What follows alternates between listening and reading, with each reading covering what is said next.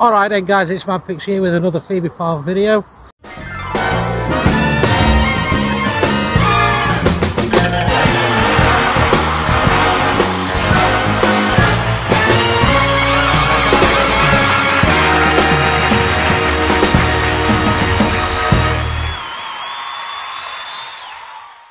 and yes I'm outside again I'm out on actually on a motorway bridge well sort of a motorway bridge motorway is just that way.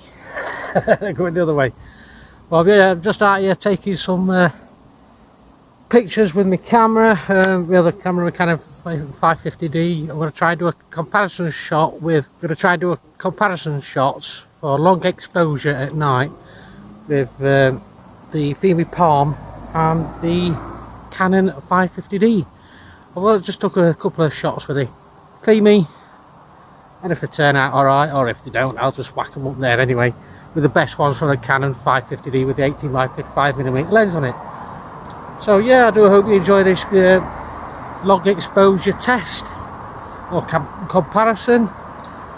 Uh, as always, there'll be a link in the description below for AliExpress if you want to get a £17.79 oh sorry £19.79 I'm tired you will get a coupon when you register to help you spend some goodies on AliExpress. The link will be in the description like I just said so go and have a look. Alright then guys I shall see you in the next video and uh, ta for now. Enjoy the photographs. See you later. Bye.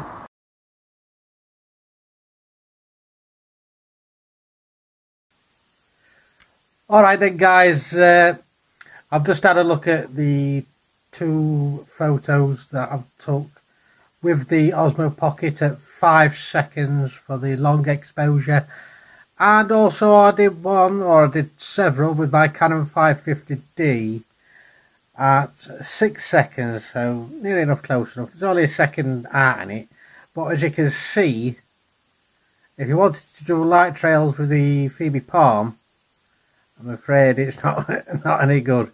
It's uh, the low light is not good with this sensor. Let's just put it that way. So if you wanted to do uh, uh, light trails, car light trails with uh, a camera, you're better off getting, in my opinion, a DSLR. Uh, so that's uh, yeah, like a Canon or a Nikon or something like that. Get one of those and they'll come out jobs are good.